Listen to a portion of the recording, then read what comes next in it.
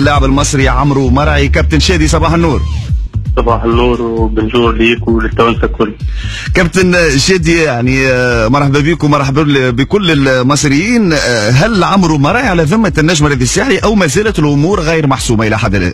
اللاعب عمرو مرعي آه، يوم واحد جوالية يكون لاعب رسمي للنجم الرياضي الساحلي لمدة أربع سنوات.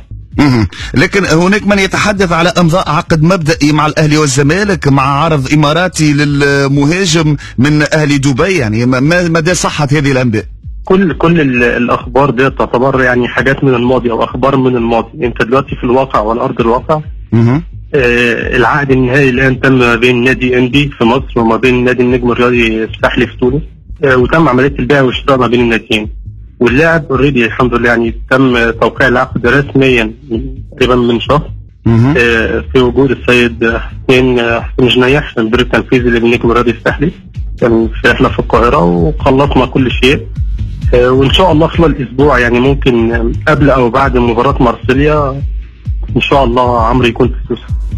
آه، موعد نتاع الالتحاق بالضبط بالنجم الرياضي الساحلي بتدريبات النجم الرياضي الساحلي وكذلك آه، يعني تفاصيل العقد مع الريتوال هو طبعا بالنسبة لتفاصيل العقد ما ينفعش إن أنا أتكلم فيها. يعني المدة على الأقل المدة المدة أربع يعني أربع سنوات إن شاء الله. أربع سنوات مش أربع سنوات ونصف. وبالنسبة لموعد الالتحاق إن شاء الله 1 جويليا بالنجم الرياضي الساحلي. لا هو رسميا يكون ملتحق بالنجم الرياضي الساحلي يوم 1 جويليا إنما موعد وصوله ديت يعني ماكسيموم هيكون قبل أو بعد نهاية آه، مباريات مارسيليا. مهم. نزلوا ال- التدريبات أعتقد ده شيء بقى خاص بالجهاز الفني وبالإطار الفني بالنجم الرياضي الساحلي. واضح. آه، كابتن شادي توضيحات للجماهير تسمع فينا في المباشر. من هو عمرو مرعي؟ أبرز محطاته ميركاتو بما أنك أنت وكيل اعمال وكذلك مصري الجنسية يعني أقرب للاعب من الجماهير التونسية. هو عمرو يعتبر من المهاجمين الواعدين في مصر في آخر ثلاث أربع سنين.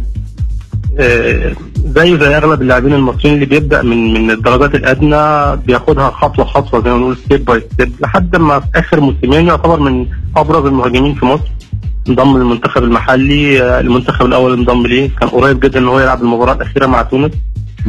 بس لظروف آه، للمدرب ما ما دلوقتي طبعا هو رقم واحد في القائمة المرشحة لمباراة أوغندا في تصفيات كأس العالم. آه، الموسم دوت في الدوري العام احرز 10 أهداف آه، وعمل assist تقريبا أربعة أو خمس أهداف. آخر مباراة ضد النادي الأهلي انتهت بالتعادل أحرز هدف وعمل assist الهدف الثاني.